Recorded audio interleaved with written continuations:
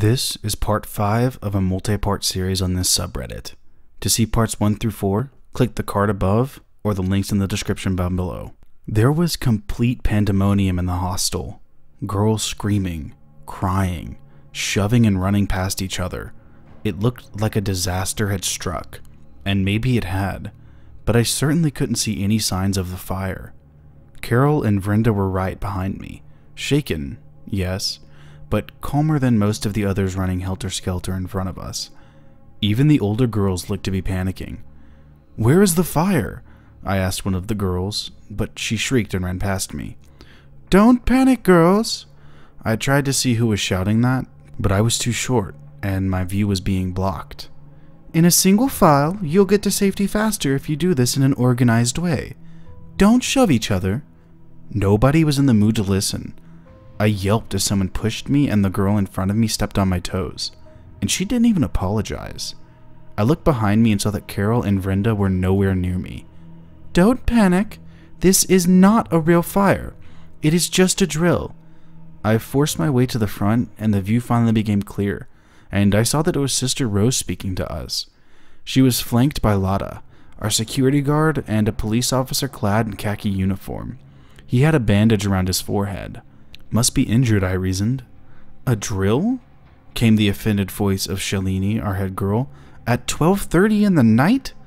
Best time to check the preparedness of the school, the cop lazily replied. You could have traumatized the children, she said aghast. A real fire won't come at a time you're comfortable with, young lady, he replied, and neither will it warn you in advance.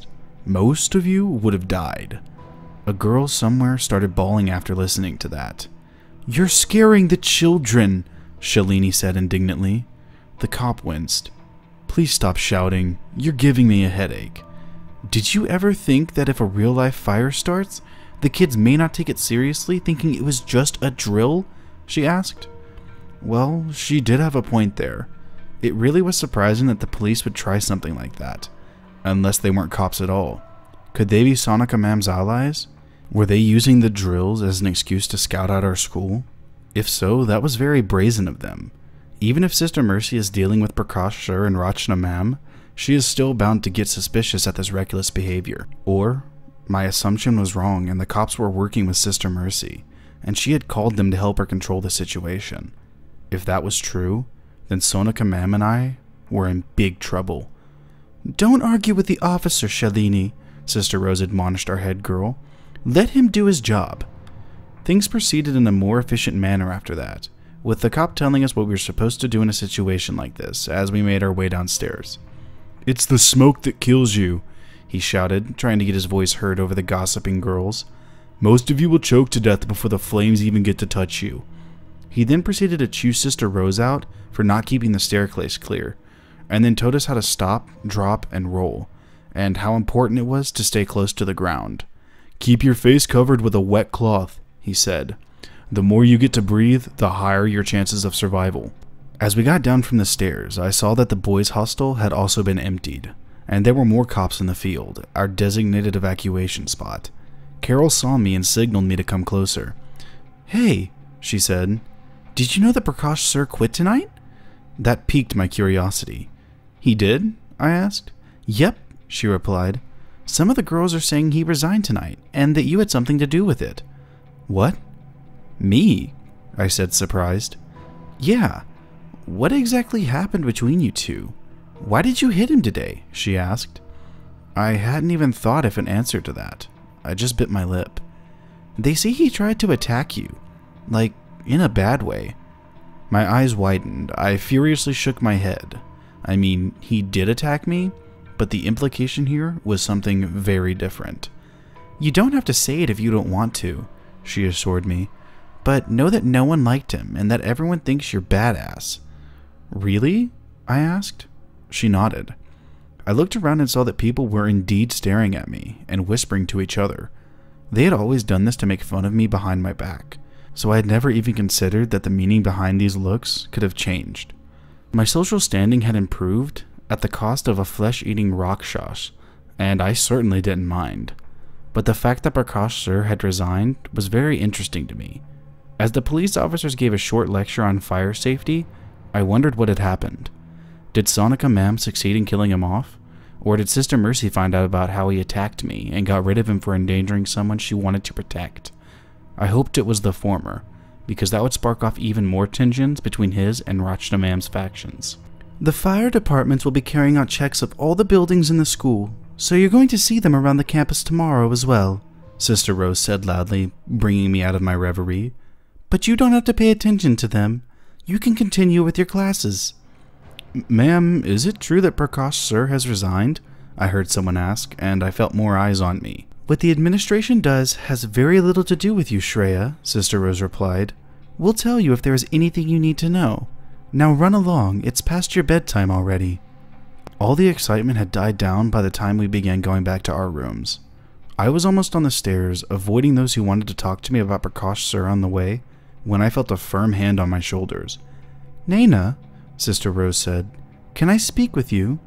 I was about to say yes, but she was already pulling me off to the side. Sister Mercy wants to meet you tomorrow for lunch, she said after we got to a relatively secluded spot. Go straight to her house after school is out, okay? She left without an answer. I shuddered. Why did she want to meet me? Why now? I contemplated her reasons for wanting to meet me all through the night. Does she know I know? Does she know about Sonika Ma'am? What happened to Prakash Sir? Innumerable questions swirled around inside my head, keeping sleep just beyond my reach and making me toss and turn until dawn. I fought back my exhaustion as I made my way to the mess and had my breakfast in the morning, forcing food down my throat, even though I wasn't very hungry. I really needed the energy for lunch today. It was confirmed that Prakash Sir had resigned when we went to class, and I didn't hear a word from Rachna Ma'am either. I don't really know what happened, but I could feel the tension in the air. Those who knew the truth of St. Agnes could easily sense the hostility the teachers had towards each other, and towards me, but they left me alone. Orders from the top, I guess. It was a lackluster day compared to what I had begun to experience from my life these days, but the tension kept on building inside me as we got closer and closer to lunchtime. And I was so nervous about meeting Sister Mercy that I was a quivering mess and my shaking knees could barely tolerate my body's weight. As I stood in front of her house, I realized that my throat was very dry. I should have drank some water before coming here. Would the water she give me be safe? Oh, oh no. Would the food be poisoned? I quickly brushed aside these irrational thoughts and reminded myself that she could have killed me a long time ago if she wanted to. She was obviously keeping me alive for some reason. But what was that reason? I shook my head and opened the gate to her house, and it gave way soundlessly, no loud creaking or groaning, like you would expect from the house of a child murdering witch.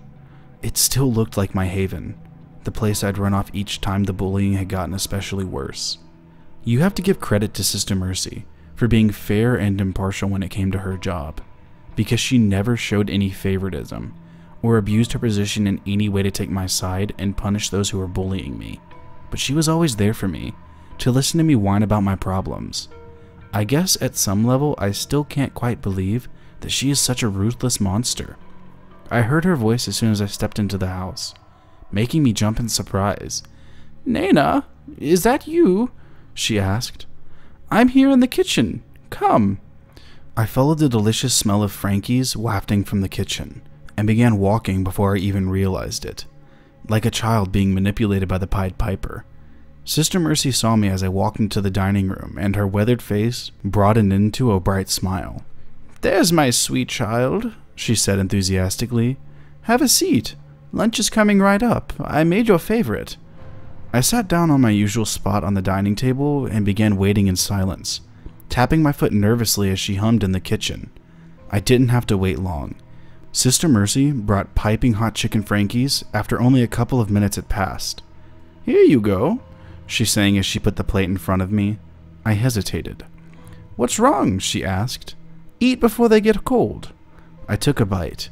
They were as delicious as ever, and hunger had finally overtaken my fears, so I gorged on those Frankies. I'm so proud of you, Naina, she whispered with a smile. Why? I asked softly. She chuckled. You know, Prakash is dead, she said.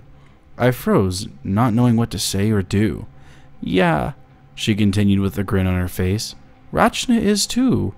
My mouth dropped. Close your mouth when you're eating, Naina, she gently admonished me. It's rude to talk with food in your mouth. I quickly obliged. They found his body last night. Someone doused him in bhasma and cut his head off. We found him burnt to a crisp with his head missing.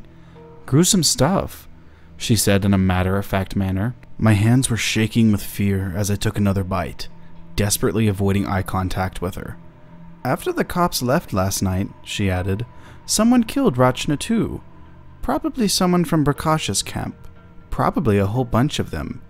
Now my children are all frothing at the mouth, waiting to bite each other's heads off. It's quite messy indeed. She started clapping, and I flinched, finally deciding to look into her eyes. I was shocked to see pride and admiration there, not the wrath I was expecting. Well done, Naina, she said, seemingly in awe of me. You managed to kill two of the trusted pets, all with a singular spectacular performance. Gosh, she whispered, I so regret missing out on that. Burning Prakash's face in public like that, and using Rachna's attempts to hypnotize you against her, and taking them both down in one fell swoop? You are so far above and beyond what I'd expected. What do you want from me? I asked, my voice cracking. My cheeks felt wet, and I realized I was crying. So who's helping you? she asked, ignoring my question. Who was it that gave you that bhasma?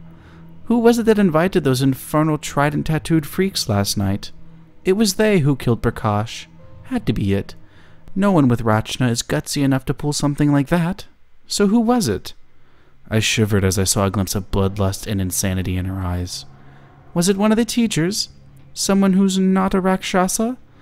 Or was it one of my own children? she asked breathlessly. No, wait, she shouted. Don't tell me. I want to figure this out on my own. Oh God, I haven't felt this excited in centuries. She cackled and I shrank back in fear. Oh, Naina, she said gently when she saw my reaction. Are you scared of me? We can't have that. You, you're a monster, I cried. You kill kids. You're evil. Evil? She looked confused. Why am I evil, Naina? Because I killed people? Floods kill people. Earthquakes do too. And cyclones ravage the coasts of this nation each year. All of these acts of the supposed merciful God kill thousands each year. Is he evil too? I didn't know what to say to that. Our understanding of good and evil are all contextual, Naina, she said. What that chicken is to you, humans are to my pets. Why is it evil for them to feed? Is a lion evil in hunting a gazelle? It is just the natural order of things. Are we not all God's children? We are all trying to survive here, aren't we? I don't recognize this woman. She was not Sister Mercy I'd known my whole life. The kind, loving woman who tried to help anyone in need. Or more accurately, she never existed at all, and this is what she had been all along. The Sister Mercy I knew was just an illusion, a shadow on the wall, gone with the dawn of night. What do you want with me? I asked with a firm voice.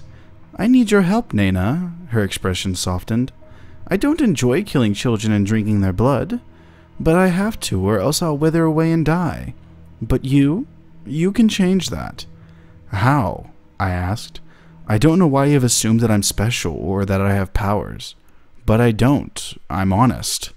Oh, but you are special, Naina. Very much so, she replied. You walk on the edge of life and death. You are the key to unlocking the doors of immortality, something I've searched for centuries. There it was again.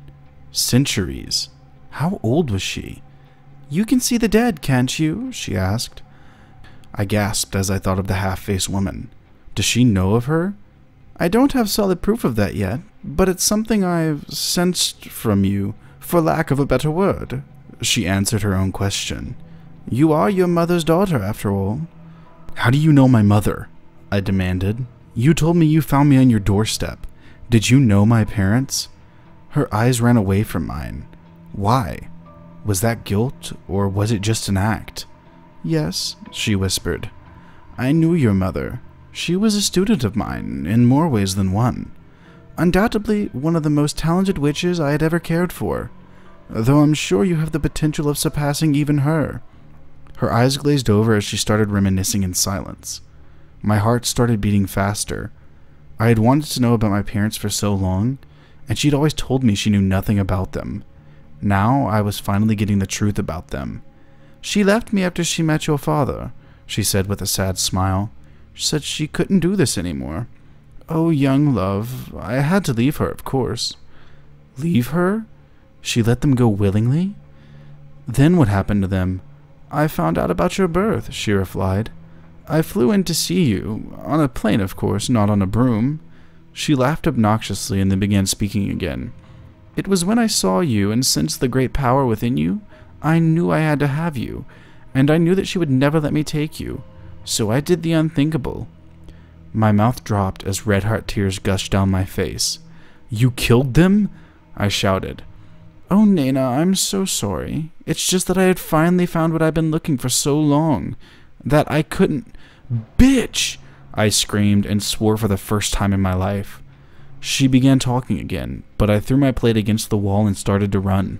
I hadn't even taken three steps when I felt an impossible force and I was thrown back to my chair. I felt bound, as if someone had tied me up. I looked at Sister Mercy. She hadn't moved from her chair, but had lazily pointed a finger at me. What are you doing, Naina? I'm not finished talking, she gently scolded me. I know you're angry at me, and you have every right to be. I have wronged you, terribly so, and I know that you may never forgive me, but allow me the chance to make it up to you. How? I asked. How can you ever make this up to me? You killed my family. I can if you let me try, she said. Let's make a deal, Naina. What? What deal? I questioned angrily. You help me achieve my dream of immortality, and I'll help you bring your parents back. Together we can conquer death. Together we can conquer death? Really? Could I bring my parents back? A tiny flame of hope sprang within me. I mean, with the kinds of crazy stuff that I had seen, was that really impossible? My mom. It could just be me and you from here on, Naina, she continued. I would leave the Rakshasas behind for your friends and the police. We'll run away.